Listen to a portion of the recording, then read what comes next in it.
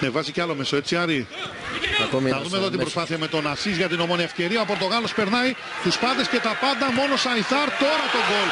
Όμορφο γκολ από τον Νούνο Ασίς ο οποίος αν το κατάφερνε στο πρώτο κομμάτι της φάσης θα μιλάγαμε για ένα από τα πιο ωραία γκολ της ε, χρονιάς. Όμως θα το καταφέρει έστω και με δεύτερη προσπάθεια. Πέρασε όποιον βρήκε ο Νούνο Ασίς. Ε, τον εμπόδισε ο Σαϊθάρ αλλά στο τέλος θα καταφέρει να πετύχει τον γκολ και έτσι η ομόνια α, θα λογικά καθαρίσει το παιχνίδι επικρατώντας αυτή την ώρα με 3-1 χάρη στο γκολ του Νούνο Ασίς. 1-3 στο 83ο λεπτό. Θα το ξαναδούμε το α, replay για το πολύ όμορφο γκολ εδώ του Νούνο Ασίς και κοιτάξτε εδώ πόσο ωραία θα περάσει τον Μόισοφ και τον Νίνου.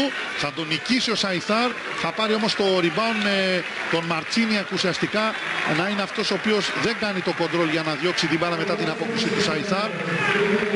Και ο Ασίς θα κάνει το ΑΕΚ Ομόνια 1-3 στο 82ο λεπτό.